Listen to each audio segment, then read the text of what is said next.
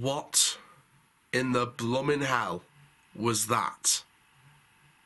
What was that? What was that performance? Do I take any positives out of that today? Of course I don't. Do I take any kind of light at the end of the tunnel for Crewe on Tuesday? No. If we play like we did today, even Crewe Alexandra will batter us. And if we get battered by Crewe, I think that's for the people that are left on board the final straw. If we get beat by bottom of the league and sent back to the bottom of the league, that's got to be the final straw for the rest of them, including myself.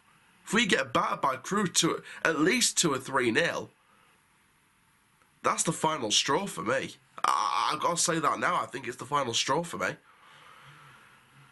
You know, I saw somewhere someone said maybe a relegation might be a good thing in the bigger picture.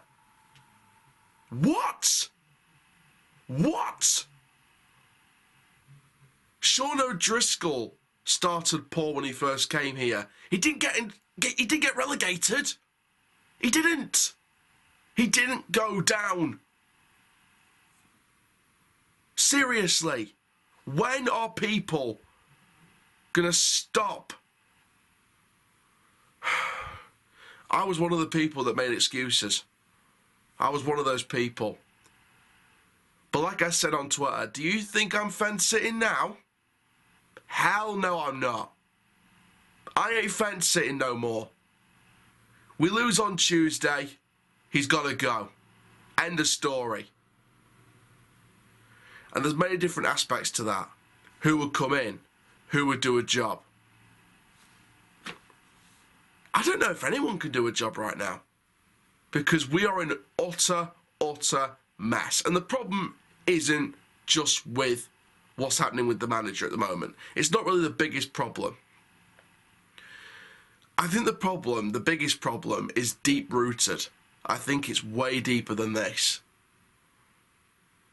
And it's going to get worse. It's going to get a whole hell of a lot worse if we don't fix up. The players on the pitch, not good enough.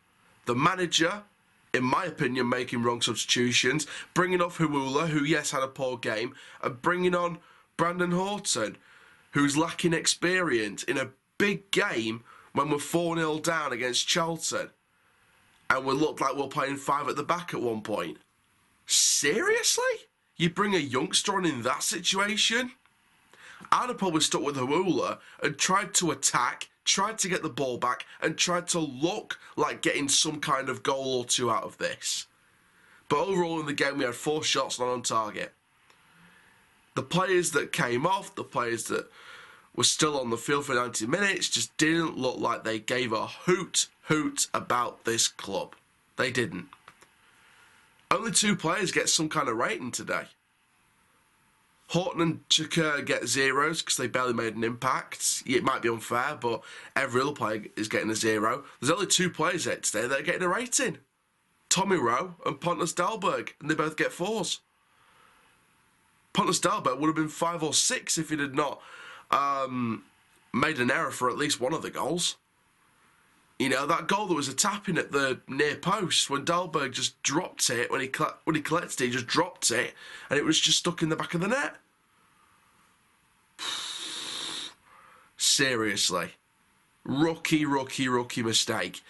Tommy Rowe looked lively when he came on, looked like he was pressing high, and the free press called it an unexpected in appearance, pretty much, on the lines of an unexpected appearance. Because. January can't come soon enough for this club. But again, if we don't do any business in January, I'm going to flip. It doesn't matter whether Wellens is manager or not. If we don't do business in January, something is very, very wrong. And it's not the manager situation anymore. Um, I'm giving you my player ratings. Um, but who we got next? Oh, lucky us. We got Crewe Alexandra away on Tuesday. Look who's getting no points. oh, Jesus Christ. I actually think Crewe could actually beat us. I'm not joking, I think Crewe could beat us. Um, I think Crewe could do a, a number on us. Yes, they might be as bad as we are, if not worse, which is saying something. I think Crewe could do something to us. I generally have a feeling that they'll do something to us. I think they might beat us by a couple of goals. I think they're going to be up for this. At least they're scoring. We're not. We've conceded the most amount of goals in the league this season so far with Morecambe and Crewe. It's going to be more. Uh.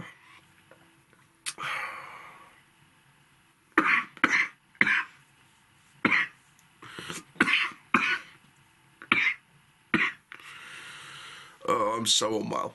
I, this club is just making me feel unwell. um, that's going to be it, guys, for this video. It wasn't a very long one at all. I just can't be asked at the minute. My name is Aaron Challoner from Pro Football DRFC. Keep on the Rovers life, and that, my friends, full time. Rovers side die. Thank you very, very much. Yeah, let's see what we put out on Tuesday. Not good at all.